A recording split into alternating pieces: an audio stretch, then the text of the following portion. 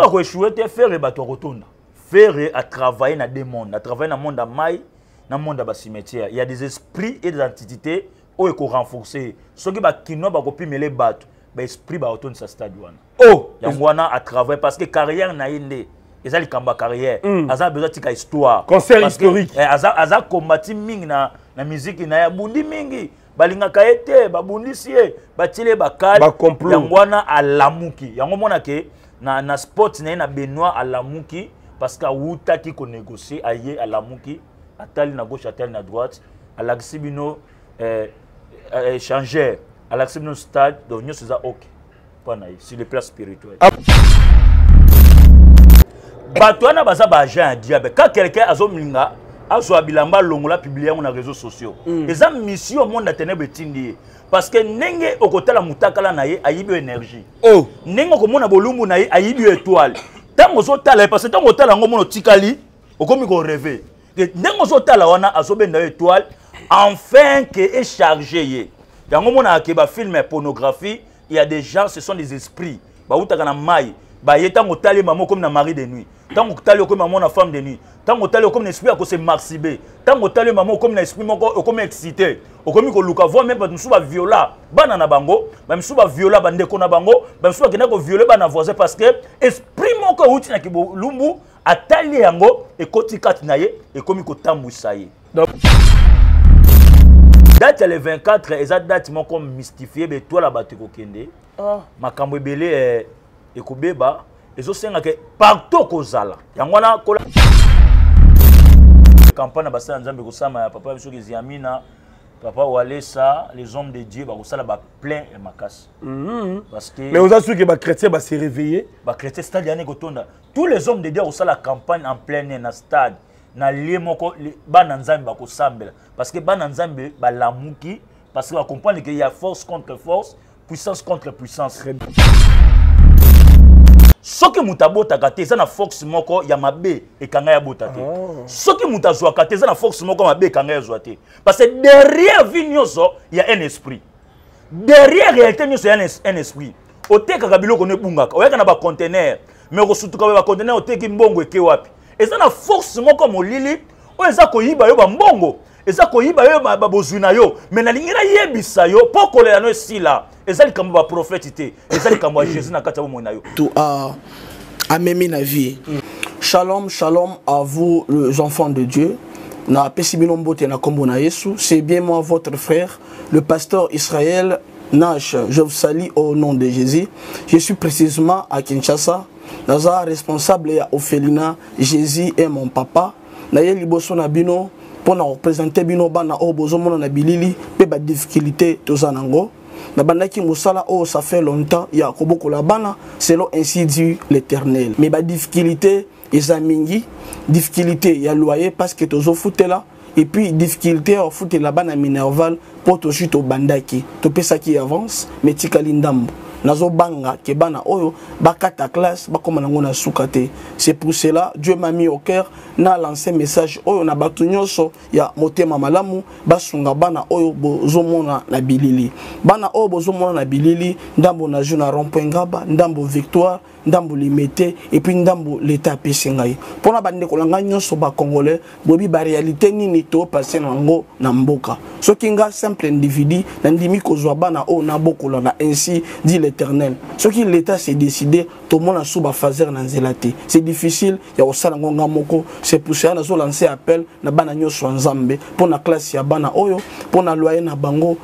kolata mpe kolia na bango na osenga na bato nyonso baza cœur sensible mpe baza na motema kosunga basunga biso mpe basalisa biso toza na commune ya kalamu quartier kauka référence ya monene tokangami na université kimbangiste aveni nkombo na yango eza marin numero 16 numero ya telefone na biso mpo na bato balingi bacontacte biso mpo na badetail mosusu eza plus 243 89 72 32 229 nzambe apambola bato nyonso oyo bakoassiste biso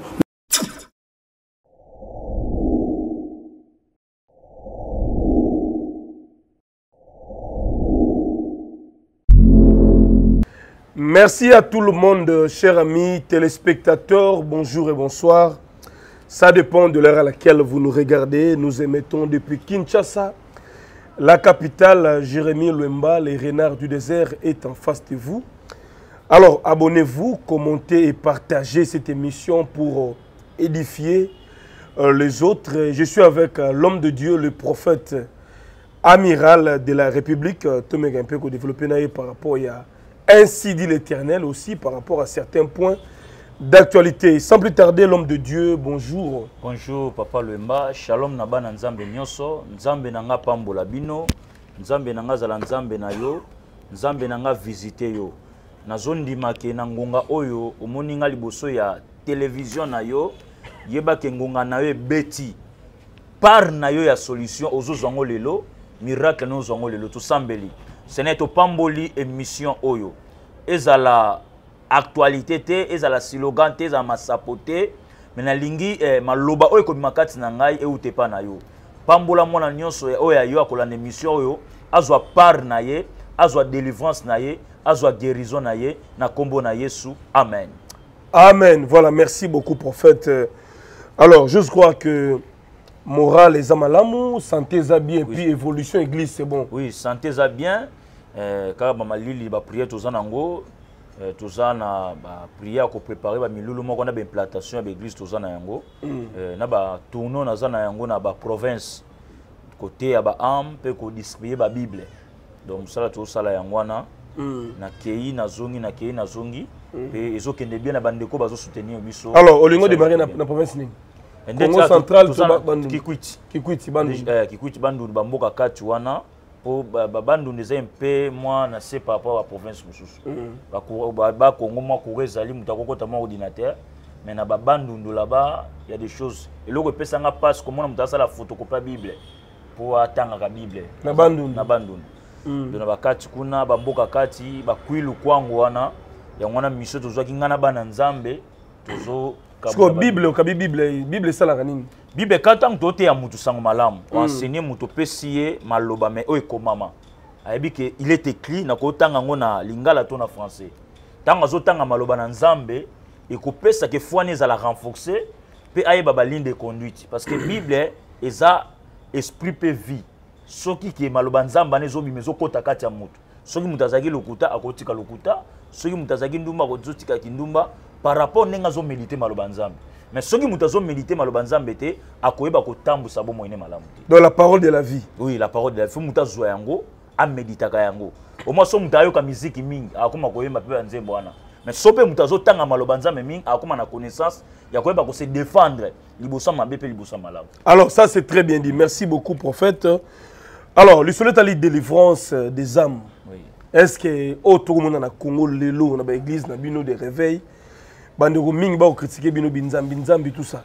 est ce que délivrance mpena au nom de jésus christ de nazareth esalamaka ti lelo Oui, eza na kombo moko te pesamela batu na se na moi. Apa komba Jésus. Donc délivrance oyo ko salama.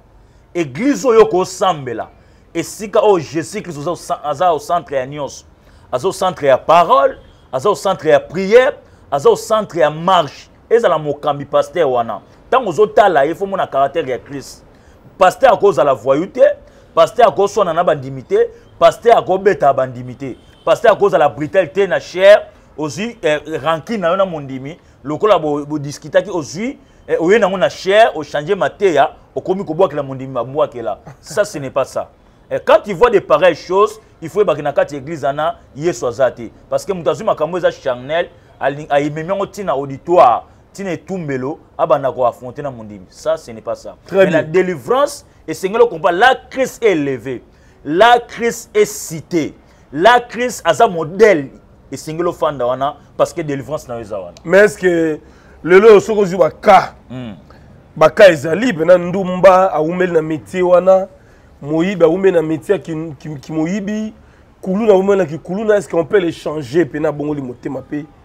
to tomonaka kaka moto akwei alobi nabimi ce qui est impossible aux hommes est possible à dieu Amen. papa loyemba oyo ngai no tokosala na vie ya motu te jésus christ de nazareth aza na makoki ya kosala yango la raison pour laquelle quand moi je vois mon ministère nazomona nde nzambe azotambola na ngai il y a des cas il y a des gens atamboli tamboli ake ake akomi na suka mais ntango tokutana na moto wana na ka na ye nanga mona kamwaka moto abiki ndenge nini mm. moto azwi solution ndenge nini parce que makambo wana ti esalamaka seni na baeffort na ngai eza na mayele na ngai te eza na theologie te mais ntango naza kotombola yesu na ka ya motu na dossier ya motu na kozanga kobota ya motu na baproblème spirituel ya motu aussi longtemps que jésus christ de nazareth il n'échoue jamais akoki ko échouer te mm. parce que soki eza na bato ba échoua na baka baya epai na ngai nalakisa bango jésus christ de nazareth oyo ya ngai oyo apesa nga maîtrise ya spiritualité oyo apesa nga maîtrise ya quatre monde spirituel na koyebisa yo makambo e jésus wana akovisite yo eloko bato esengeli bacomprendre mm. na kati ya vie ya bato ebele esengeli krist azala ocentre ya bomoi na yo soki yesu aza ocentre ya bomoi na yo maladi yana ekotika vie na yo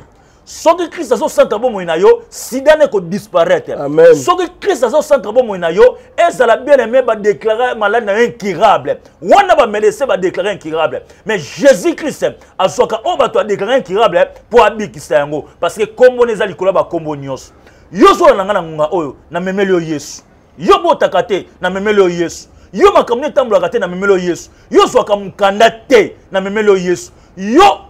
mibali bakimaka yo yo mobali akima ndako na memeli oyo yesu yo bana bakufaka yo yo bazemi ebimaka yo na memeli oyo yesu esengeli ocomprendre ke lelo christ azovisite bomoi na yo parce qu'il y avait une femme ya perte ya sang elle a dépensé tout ce qu'il avait adepensaki nyonso azalaki na yango mpo akutanaki na bato adepensaki nyonso azalaki nango mpo akutanaki na baprofete adepensaki nyonso azalaki nango mpo akutanaki na batradi praticien mm. adepensaki nyonso azalaki nango mpo akutanaki na bamaître spirituel mais quand il a vu jésus amoni yesu azoleka amilobeli kati na ye abia ah, ata na depensa mais soki kaka nasimbi eteni elamba moto oyo nakobika e eh, abaloli motema na ye achange langage ekomi ntango change langage bien aimé nayebi kobenga baprofete baaventurier parce que okende mpe baprofete mais komona nga te mona yesu liboso na ngai oyo aza na dernier mot liboso ya vi na yo oyo aza na dernier mot na maladi na yo oyo aza na dernier mot ya kobota na yo oyo aza na dernier mot ya citation na yo yo ozolanda nga siko loba amen na ndako parce que auditoire oyo esika ofandi na molimo santu azo penetre aza kokontrole vi na yo mpe esprit wana oyo efandela ezotika yo yo milimo etambola na ndako ndenge osola nango milimo wana ezokima parce que là jésus règne eza na eloko mosusu te ekorenye voilà merci beaucoup prophète ça c'est très bien dit je pense que nous devons mettre euh, le Seigneur Jésus-Christ au centre de au nos centre, vies. Au centre de nos vies. Na musala na yo. Na musala na yo, Yesu azala au centre. Na ba projet. Yesu. Na voyage. Yesu. parce que euh, avion yesu azotambusa ekosala crash te amen yango ozomona ke euh, je bénis notre président ntango akomi président de la république asangisa bato basambela mpo na ye bato alobaki akowumela te mm. mais aussi longtemps ke atiaki christ au centre ye azokende vers deuxième mandat na ye ah, okay. parce que alobi naza na effort te nayebi politiki te naza na esika kobatama te basala nzambe bosala ni bosambela mpo na ngai malgré bainfiltration malgré nyonso malgré nyonso omonake moto alobaki eke asalaka ina na okufa mai azokende donc tu tomoni ke bacoup d'état erate eza mpo na jésus oui ah. eza na baeffort na ye te le président félix aza na mayele ya komibatela ye moko te parce que eza na bato baprécédesseur na ye bato bayebi mboka bayebi tous les quatre coins ya kinshasa ya bamine ba bon biloko ba plaça ba yebi mais ti alekaka ke abimi azongi ake cortège abimi parce que c'est jésus christ qui est au centre de sa vie très bien il a déjà 60 ans mm. euh... joyeux anniversaire son excellence monsieur le président le prophète amira vous souhaite plein de bonnes choses dans la vie na bino makambo na yo ekende malamu voilà merci beaucoup na excellence mbotama elamu na ye 60 ans ça s'est fait mm. ezali fete monene mpona biso bacongolais merci beaucoup prophète je crois que en passant o expliquer bandeko ebele que jésus nde aza centre makambo tout totia na centre pour que to réussir vous savez jésus christ aza force oyo force moko te kotelemela yango parce que na kati ya mokili oyo toza likambo ya force contre force puissance contre puissance soki moto abotaka te eza na force moko ya mabe ekanga ya bota te oh. soki moto azwaka te eza na force moko ya mabe ekanga ya zwa te parce que derrière vie nyonso ya un esprit derrière réalité nyonso ya un esprit otekaka biloko no ebungaka oyaka na bacontenaire me okosutuka ba bacontenaire oteki mbongo eke wapi eza na force moko molili oyo eza koyiba yo bambongo eza koyiba yo bozwi na yo me nalingi nayebisa yo mpo kolela no esila eza likambo ya baprofeti te eza likambo ya jésus na kati ya bomoi na yo namemeli oyo yesu crois que ndenge ozolanda prophète amiral na minute oyo milobela na motema na yo soki tosambeli na prophète oyo nazwi guérison soki tosambeli na prophète oyo nazwi mabota soki tosambeli na prophète oyo mokanda na ngai ezobima soki nasambeli na prophète oyo nazwa mosala soki nasambeli na prophète oyo nazwa libala car celui qui est à moi est plus fort que celui qui est dans ce monde ndenge nai soki yesu oyo namemeli yo christ aza plus fort koleka tata na yo aza plus fort koleka mama na yo aza plus fort koleka noko na yo aza plus fort koleka moto alakela yo mabe naye kobiso na kati ya malédiction wana yo vi na yo kolelaka kaka ce n'est plus le temps de pleurer ce n'est plus le temps ya kotangisa mai ya misu banda kondima na kati ya motema na yo ke soki yesu akoti na bomoi na ngai nazwi lobiko banda koloba kati soki yesu akoti na kati ya vi na ngai kindoki ya famille oyo ekokweya ozomilobela oyo oh, famille nini moto ya malonga azalaka te ozomilobela oyo oh, fami nini moto amataka te ozomilobela oyo oh, libala nini akota esengo ezalaka te bieleme okoluka esengo na makasi na yo moko te esengeli yesu aza esika yesu aza kovivre esika bomoi ezali esika makambo etambolaka malamu fongola motema na yo yesu akota mpe changement ezokota voilà merci beaucoup merci ya sema mayasi femme légitime ya jansi mayasi forza italia les célèbres die nzundu na washington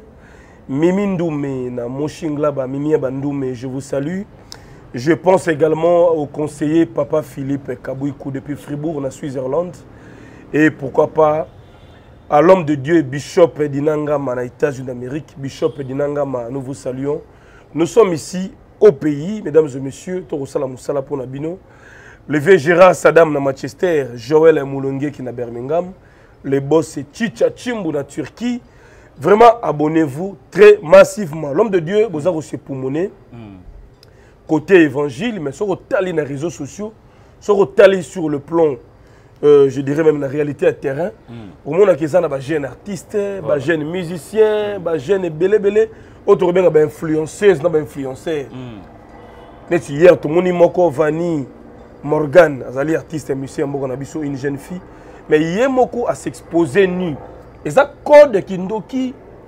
bato wana baza baagent ya diable ka quelqu'un azolinga azwa bilamba alongola publie yango na réseau sociaux mm. eza mission monde ya tenebre etindi ye parce que ndenge okotala motakala na ye ayibi yo énergie oh. ndenge okomona bolumbu na ye ayibi yo étoile ntango ozotala ye parce que ntango otala yango mona otikali okomi koreve ndenge ozotala wana azobenda yo étoile enfin ke echarge ye yango omonaka ke bafilme ya pornographie il y a des gens ce sont des esprits bautaka na mai baye ntango otali mama okomi na mari de nuit ntango otali okomi mama na femme de nuit ntango otali okomi na esprit ya kose marsibe ntango otali mama okomi na esprit moko okomi excité okomi koluka voi meme bato mosusu baviola bana na bango bamisusu baviola bandeko na bango bamisusu bakenda koviole bana voisin parce que esprit moko euti na kibolumbu atali yango ekoti kati na ye ekomi kotambwisa ye donc bana bapamba te baza possédé bana na baza, baza na baesprit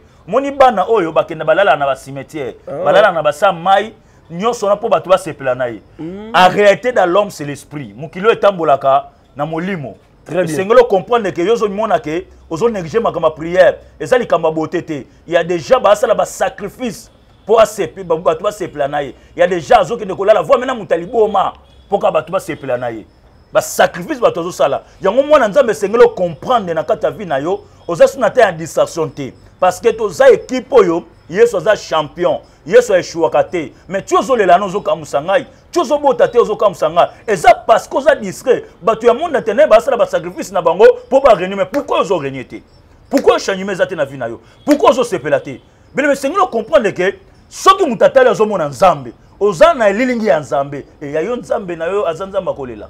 eyo nzambe na aza nzambe ya sterilité eyo nzambe na aza nzambe ya chômage eyo nzambe na aza nzambe ya makambo mike na memelo yesu oyo ya ngai oyo atangisaki makila na croix golgota olobaki tout est accompli aza na nguya kobiso na malédiction aza na nguya kobiso na nzungu ya bondoki aza na nguya ya kolongola bamiomi wana eza na libumu na yo aza na makoki ya kolongola sterilité eza na kati ya nzoto na yo aza na makoki yo libala ekufaka obota mwana mwana na tata na ye nalingi na biso avec jésus hémorragie wana ekozala arrete mpe nzambe apesa stabilité na memelo stabilité na nkombo na yesu amen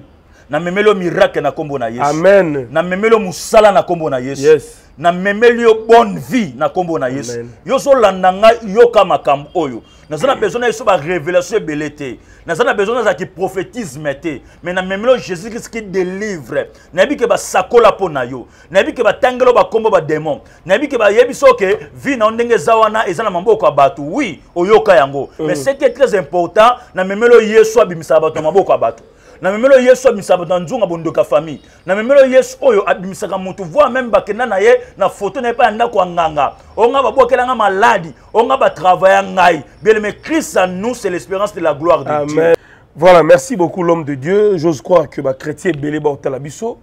mais j'ai parlé sur euh, l'événement le 24 juin cette date est commis vraiment je dirais euh, très célèbre et comme le rôle la date moro sacrée Tout le monde en parle, même ba église na moni quand même eh, bo doser température. Ça vous dit quoi quand tu, tu entends Ferry Martyr, Rogana Braza, Lacoste Mchangu, cette journée là ba crainte, il faut pas se passer comporter comment Diable à travers la musique. Mm. Diable on a que Satan Lucifer tant azaki likolo azaki na domaine de louange en eko gérer. Ayebi qu'est-ce que la musique La musique d'abord. Donc, mm. et loko wana yango mona que na kisi ya musique le diable libère beaucoup d'énergie mpo arenforce bato na ye date ya le 24 eza date moko mystifie betwala bato ekokende oh. makambo ebele eh, ekobeba ezosenga ke partout okozala yango wana kola mpe ngai likabo le 23 na 0 heure donc le 24 na 0 heure toza na direct le 23 na 0 heure toza na direct na amiral ya mboka tv Amiral Amboka TV s'abonner kotaka na recherche na YouTube na yo comment Amiral Amboka TV osambela na biso na 23h mpe na 12h en fait que tosambela natiko na maboko ya nzambe nzambe abomba yo operde eloko te parce que ya na se ya distraction wana eza na bato ebele bakoperdre makambo ebele yango wana aza na bezo osambela na ngai en fait que kola bomba yo donc d'après yo ferre aza, aza bien préparé mpo na concert ferre akoechoue te ferre bato akotonda ferre atravaille na deux monde atravaille na monde ya mai na monde ya bacimetière il y a des esprits et des antiquités oyo ekorenforce soki bakinois bakopimele bato baesprit baotondisa stade wana oh! yango wana atravaille parce que carrière na ye nde eza likambo ya carrière mm. aza besoin atika histoire concert historique eh, aza, aza combati mingi na, na miziki na ye abundi mingi balingaka ye te babundisi ye batili ye bakali yango wana alamuki yango omona ke na, na sport na ye na benoit alamuki parce que awutaki konegocie aye alamuki atali na gauche atali na droite alakisi bino eh, eh, échangeur alakisi bino stade donc nyonso eza oke mpo na ye sur le plan spirituel alors yo ozali prophète bino nde bomonaka bino bamessager l'homme de dieu mais ndenge opeseli discours na obangisi bato quand même te euh, wana eza mosala na ye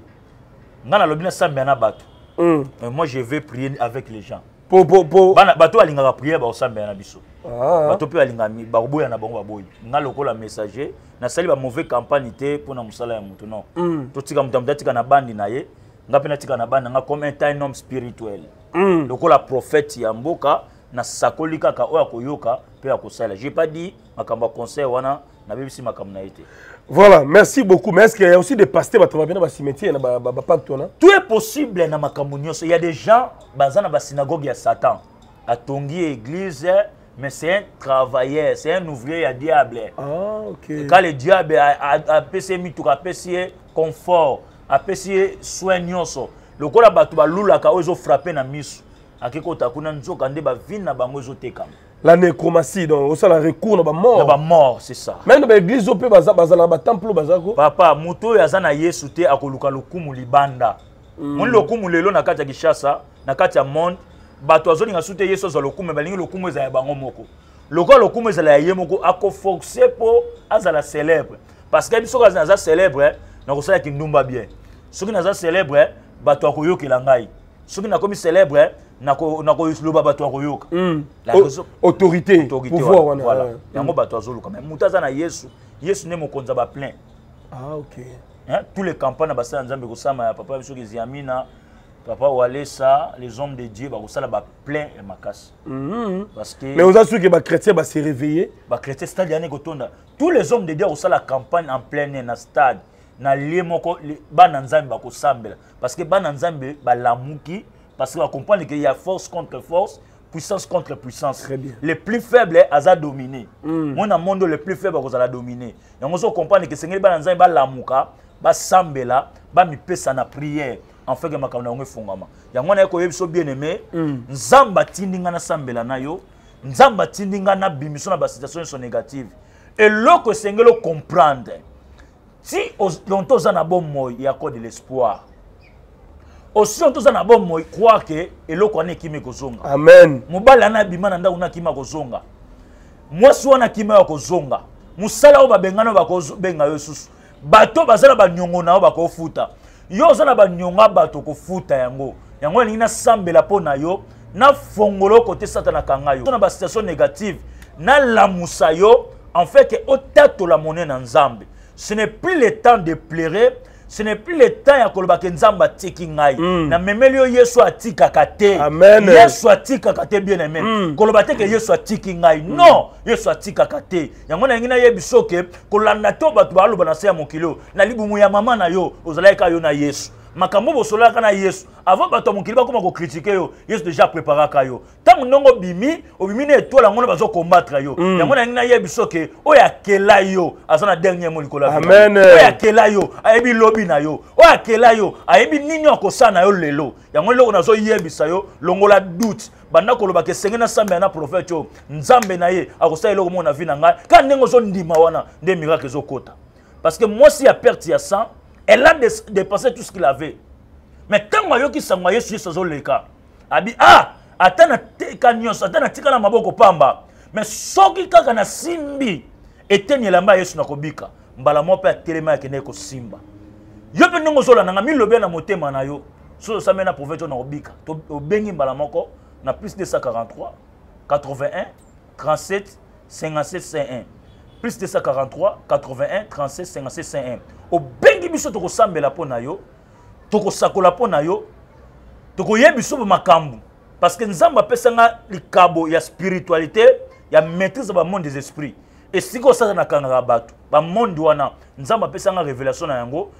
namonaka nayokaka mpe nasalaka service précise en fait que moto akangolama parce que moto azomona te obimisa moto ndenge nini bakangaka bato na baprison sataniki oui ya de prison diable aza na yango papa diable akokanga na posa nzete atia moto wana bino boko eluka ye oyo bakanga esprit na ye na ndako anganga na nzungu mais aza na posa ah. nzete so délivrance esengaka tatonnement te précision précision oyebisi moto baréalité na ye acomprendre il y a une sœur akendaka europe avant kende europe baswanaka na quartier mama na ye na bandeko mm. mama na voisin alobelaka ye makambo moko mabe ekotaka ye na motu nzoka nde adeklaraka malediction likolo ya vi na ye ndeko ake europe vi etambolaka te ntango abengi biso azoloba bino abengi bengi kutu nameka na ngai nani nameka abi ameka ntango ameki nandi koyebisa ye namoni bato azoswana mais tala makambo boye boye boye directement aye kocomprendre makambo wana nayebisi ye mima wana efungwami mwe ntango mima wana efungwami mama pisa délivrance yango wana ah, se rappele ekomi makambo kosala service ya, ya, ya, ya, ya, ya pardon ya réconciliation ya délivrance mpe kobimisa maloba wana c'est ça la délivrance munganga oyo atraitaka motu asalisaka examen examen eza prophétie mpe apesaka kisi kisi eza priere nalingi nayebi biso na memelo priere oyo eza kisi oyo jésus christ aza centre ya priere wana mpe aza na makoki ya korestaure commerce na yo yo yaka na bacontener yo koteka kaka komona soki okomi kote mbongo na maboko mbongo ekesiki ekendaka yebi te tokobama dusu wana nyonso batobola na maboko na yo amen besprit oyo yaka koyiba yo mbongo besprit oyo yaka kokota baperte na vie na yo vivaka perte rejet déception bakosaka yo baesikokaka yo kaka mauvais sort wana tokolongola yango mais sikoyo olobi ke bato mosusu bakangaka bango bablokaka bango est ce que musicien comédien ndeko moko baosala carrière na ye mm. mais ça ne marche pas soki mpe balandeli ye ekozala mpe na balien ekanga ye oui moto nyonso aza koévolue te blocage eza ya diable so otangi na 3 jean de sua nzambe ezake motu aprospere à tous égards mpe azala bonne santé esengeli baaffaire na yo ekende liboso mpe sante na yo ezala malamu très bien mais soki oza koévolue te mpe sante na yo eza malamu te eza blocage fo tobimisa yo parce que bible ezoloba na jérémie je connais les projets que j'ai formulé pour vous et sont des projets de paix non de malheur sikoyo oza na malheur ovandi kimia oza na malheur okanga maboko olobake baprofete balekisi na baye na ngai bien aimé le prophète amiral asambela na globe terrestre je prie pour toi maintenant tosolola na yo te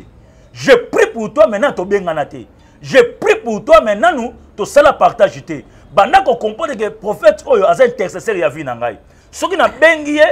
nakozala na prophétie précis na ngai nzambe nakolokalize ngai mpe miracle nakozwa yango yango omona ke prophétie ya vino okoyoka esidi l'éternel okozwa badetail mpe miracle ya nzambe ezali kola vi na yo limero na biso ezali plus 243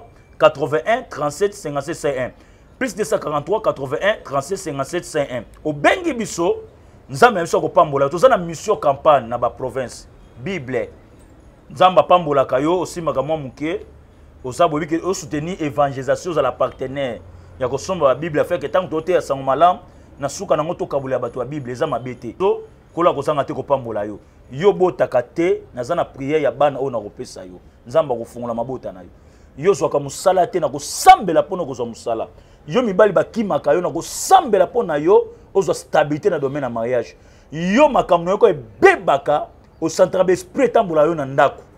parce que nzambe na biso ayebi kokangola obungisa mwana obota mwana mal formation obungisa moto bolukaka ye nous allons prier pour toi moto wana okoretrouve ye mpe okozwa solution na likambo na yo car le jésus que moi j'ai jésus qui de nazareth aeshuaka te très bien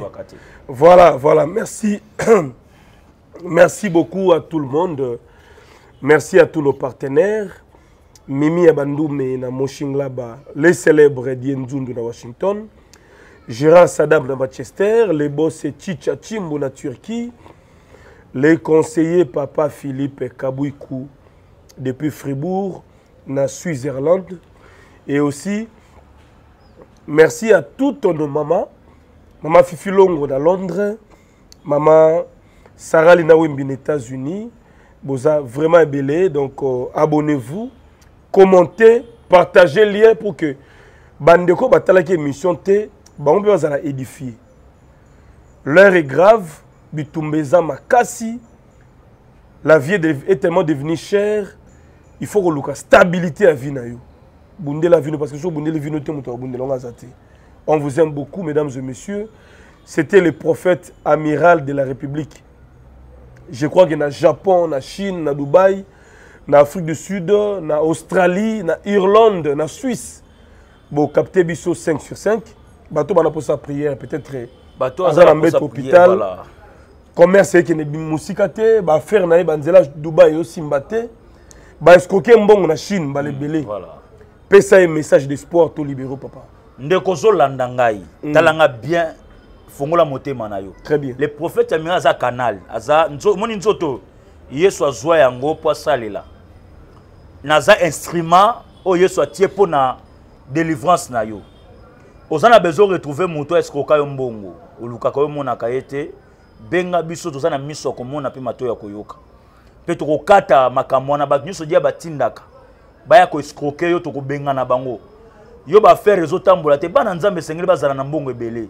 ozala omata osanti bakali bakali benga biso tokosambela mpo na yo tolongola bakali wana yo osala baperte ya mbongo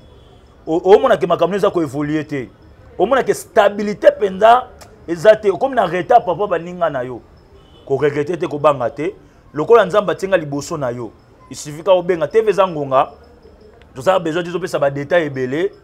parce que jésus christ lui-même akorevele ntango okobenga mpe na kosakola mpo na yo mbala moko mpe koleka na service ya délivrance miracle ekota na olobi jour ya concert le 24 le 24 toza na direct spécial olingi osouve baame tokosambela donc tokoprépare da journal na le 23 na 23 ah ok mpo bato bakufa te na stade mpo bato bazaladiable profite ah ok na baoccasion occasion na batransport mona motuka moko esika ebimeli eyebi te eka etuti bato hmm. eloko moko ebimi kaka boye mona ekweli motu hmm. yango wana eh, lokola diable aza rise biso bato ya misu tomoni le 23 na 23 heure de kinshasa hmm. le prophète amiral aza na direct na amiral ya mboka tv obengi tokosakola mpo na yo tokotia telefone ouvert bamisusu bakozwa lisakola bango na mosika benga tosambela na yo parce que nzambe alola akozanga te kopambola yo sikoyo daya banda koluka koma amiral ya mboka tv sabonne tia bacloche ya notification mpo ozala na temps réel ya bapriere na biso ya ligne nzambe apambola yo voilà merci je vous salue damien, damien ejamboy en états-unis mbote na yo bandeko na biso nyonso papa claude kitenge na france na remercie yo le patron raoul kidumu na canada depuis montréal raoul kidumu kremer makala na canada on est ensemble pour de vrai merci pour la confiance merci pour l'amour merci à la grande équipe technique charo derrière la caméra exaucé misoi à la régie finale bye bye et au prochain numéro merci prophète merci papa loemba merci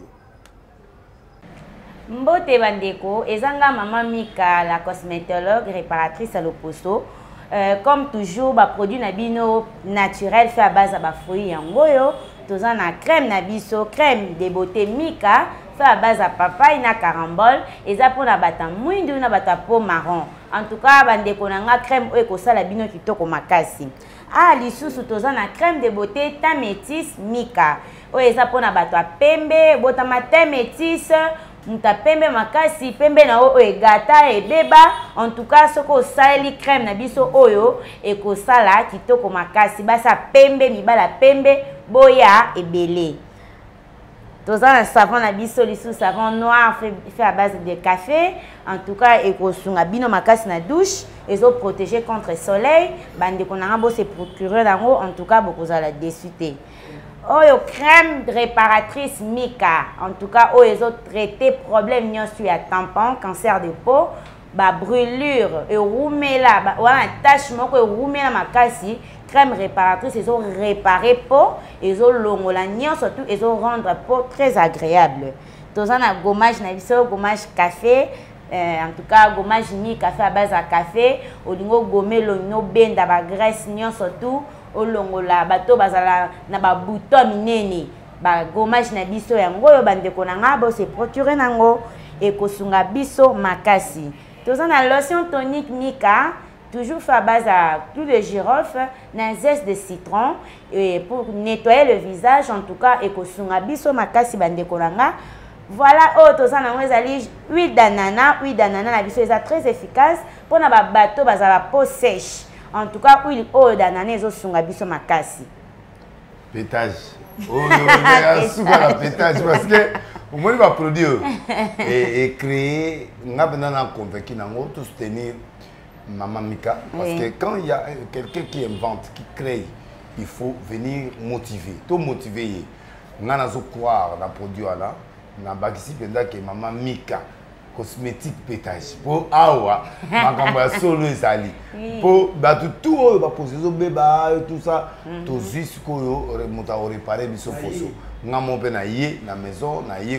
kozwa baproduit na bandaki déjà lokuta mabe na bandaki déjà depuis mois 3 jours mais namoni ke déjà mwa évolution ezozala donc mhm. baproduit yango oyo nga nandimi na ngango ah. mhm. mika euh, mika cosmétique nandimi mare nandimi makambo na ye nandimi baproduit na ye bino nyonso boya bana poto bamusicien baserviteur de dieu bato tout awa hydroquinone eza te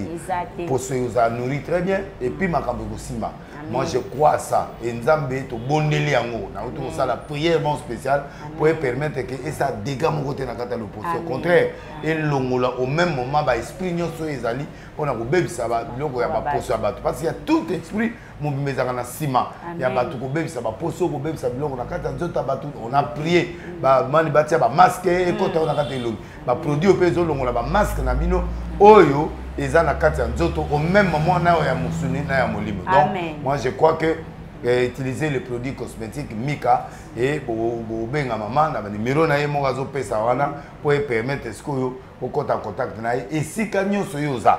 na continent nyonso yo oza produit ekoya amen e, lokola produit ekoya numero yango wana merci le plus 243 89 98 27 674 adresse na biso toza na komi na kalamu toza na quartier matonge avenue pozo numero a 17 référence cabine à courant